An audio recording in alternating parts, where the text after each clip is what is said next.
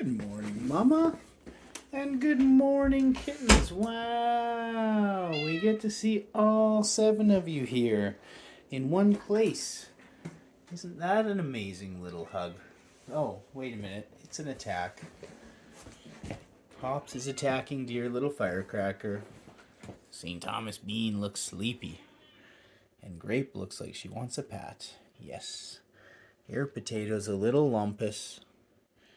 And Queen Coral Bead is calm and curious like usual. Snail seems to be a lazy kitty. And he was curled up like a shrimp.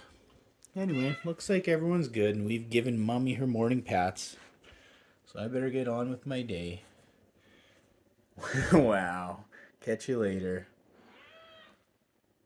Bye.